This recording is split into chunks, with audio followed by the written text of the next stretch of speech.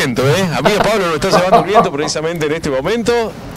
Ve si alcanza a ver Puente Ricardo Obregón Cano. Mire usted. El gobernador riocuartense que en los años 70, eh, conjuntamente con Atilio López, en gobernar la provincia de Córdoba, que precisamente aquel Navarrazo fuera el, gestor precisamente de la institución de Ricardo Obregón Cano, aquel odontólogo riocuartense que durante muchos años, afincado en Córdoba, precisamente fuera gobernador. Es precisamente el hombre que va a tener este puente, eh, que va lo puedo decir porque es día de viento, ¿no? Viento en popa, realmente impresionante. Habíamos tenido la posibilidad en las primeras ediciones de Buen Día Río Cuarto de mostrar cómo viene la obra de Romero Camisa. Ya están este, las obras, claro está, eh, realizadas tanto en los accesos, esta vez estamos en el otro acceso, en el acceso de Banda Norte, eh, como quien viene de Banda Norte precisamente al centro y bueno, la, anterior vez que teníamos la posibilidad de estar eh, aquí estaba recién el primer tramo de pavimentación de este puente que, como dice precisamente el cartel de se propuso y se hace,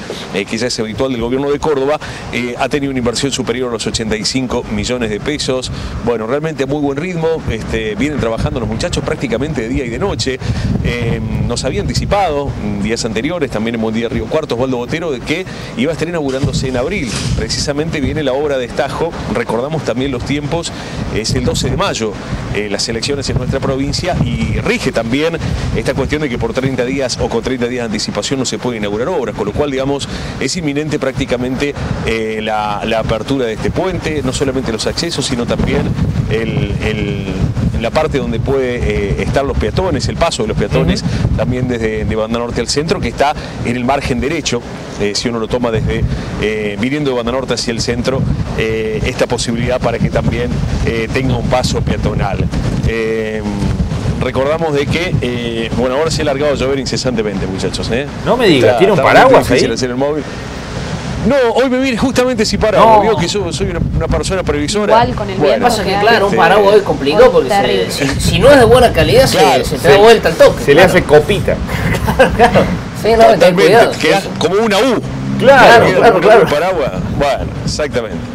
Bueno, pero pese a esto los muchachos siguen trabajando eh, a destajo. Hay generalmente una treintena de trabajadores que ha puesto la, empresa Romero Camisa, quien es el encargado precisamente de la obra. Eh, seguramente en los próximos días vamos a tener novedades. Ojalá que precisamente las inclemencias del tiempo no le jueguen una mala pasada a esto, porque sin duda este, se lo necesita inaugurar, inaugurar prontamente una obra que seguramente va a ser de, de extrema utilidad para las casi cincuenta y pico de mil personas, 55 mil personas que conforman una suerte conglomerado entre el barrio Banda Norte y las Higueras como ingreso. Y claro está la muchísima gente que del resto de la ciudad eh, y de la región va hacia la zona norte. Este, seguramente va a ser un, nudo vial realmente importante con las obras que se vienen desarrollando desde hace bastante tiempo ya la provincia de la Costa Negra, que también seguramente van a permitir una accesibilidad y un corredor entre los puentes desde el Muñaini hasta aquí y claro está eh, posteriormente por los márgenes para llegar al centro 5. Bien, bueno, eh, está parado justamente en el sentido que va a tener la mano, que es de ingreso a la ciudad, ¿no?